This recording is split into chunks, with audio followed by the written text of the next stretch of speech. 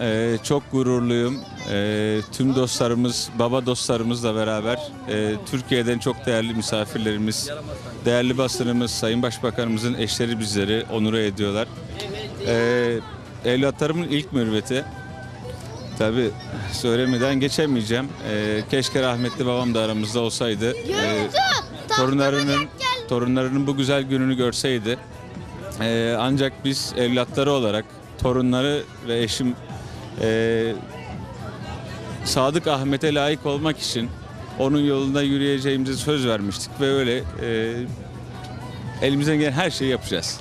Levent Bey güzel eşiniz buradalar ama ben bu yakışıklıya bir sormak istiyorum. Kardeşi ağladığı için almadık getirmedik onu ama sen bugün nasıl hissediyorsun kendini? Bak ne kadar büyük kalabalıklar var burada. Ta nerelerden geldiler? Ee, bilmem. Bilmem. Türkiye'den. Türkiye'ye neler söylemek istiyorsun Sadık Ahmet? Sen dedenin adını taşıyorsun. Çok özel bu. Mutlu musun önce? Evet. Galiba adını taşıyor olması en büyük mutluluk. E, Daha başka kesinlikle, diyecek hiçbir şey yok. kesinlikle, çok Anneye de bir dönelim mi? Şirke Hanım bizi ağırladığınız için size çok teşekkür ediyoruz. Burası o kadar güzel ki tam bir panayır yeri gibi. Sanki bir bayram havası var burada. Ee, çok güzel bir ismin aslında sahibisiniz siz Doktor Sadık Ahmet'in.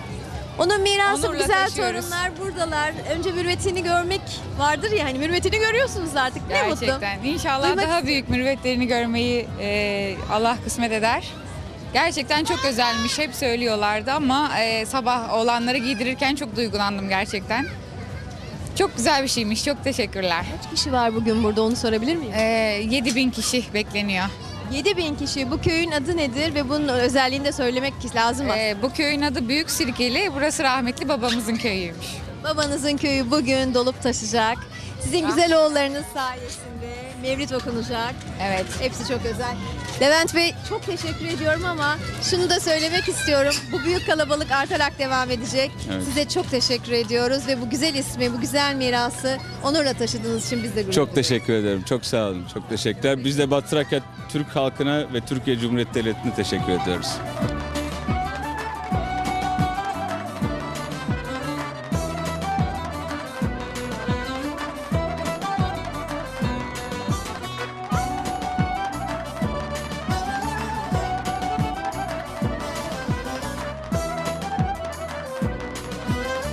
İşte görüyorsunuz sofra bereketiyle sürüyor bu büyük şölende.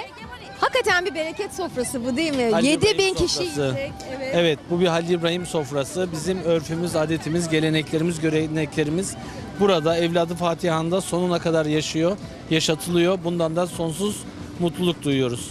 O kadar da lezzetli yapmışlar ki ellerine sağlık.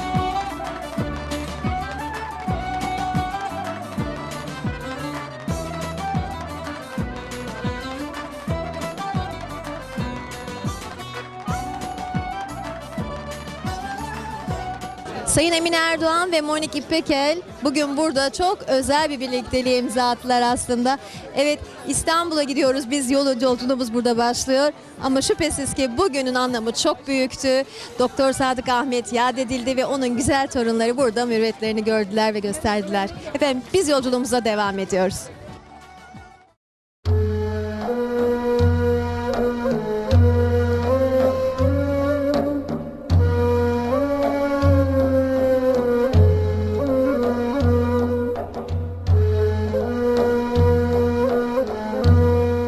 Efendim birazdan Gümüşhane'deki bu güzel otelden çok özel bir mekana gideceğiz. Çünkü buraya asıl geliş sebebimiz de buydu.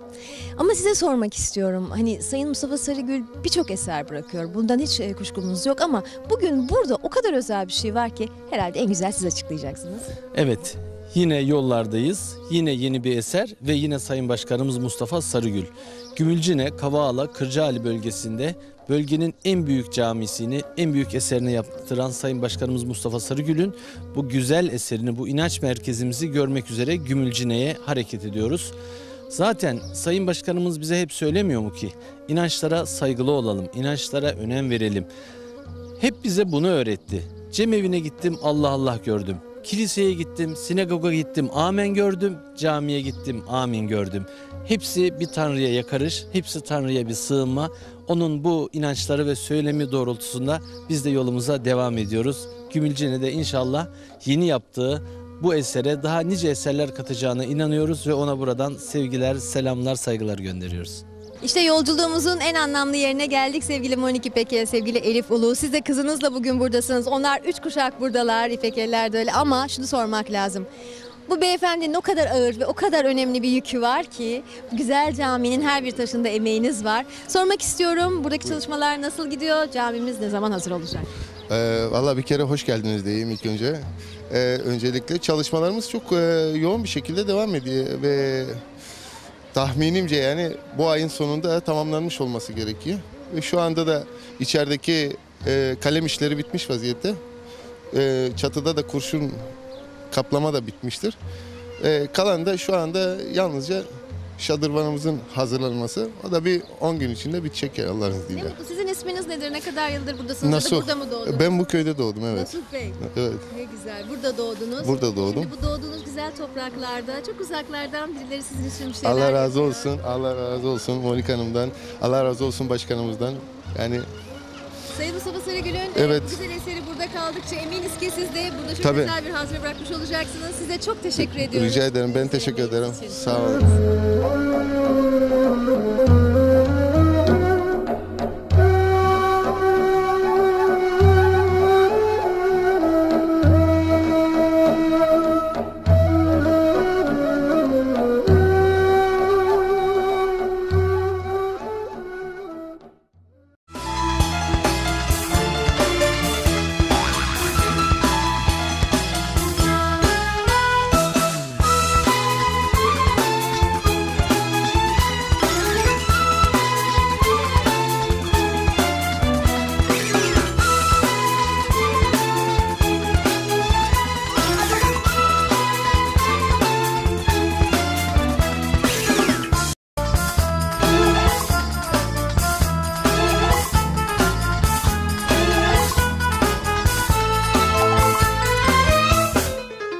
Efendim şimdi ağır ağır yavaş yavaş yıl sonu eğitim öğretim yıl sonuna yaklaşıyoruz.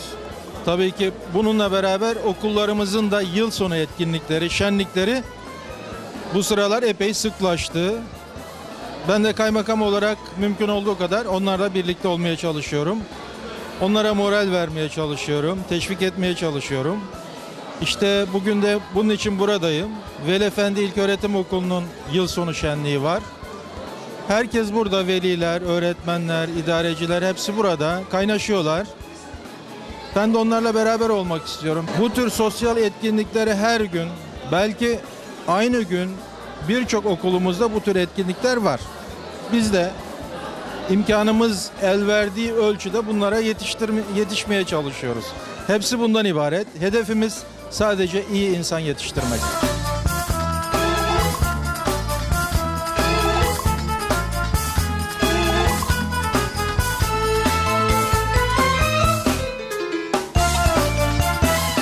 Şu anda tiyatro gösterilerimiz var. Çocuklarımızın e, monologları var.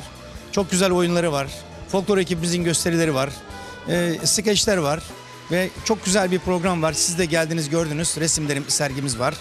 E, atık kağıtlardan yapmış olduğumuz çok güzel e, dekorlarımız var. Onları da gördünüz. Çok güzel bir e, gün yaşadık burada. Okulumuzu bir aile olarak görüyoruz. Bu ailenin içerisinde öğretmenler, veliler ve çocuklarımız var. Çünkü onlar bizim geleceğimizin teminatı olan gençlerimiz. Biz onlara güzel şeyler ve hayata da güzel bir şekilde hazırlayabilirsek gözümüz arkada kalmayacak.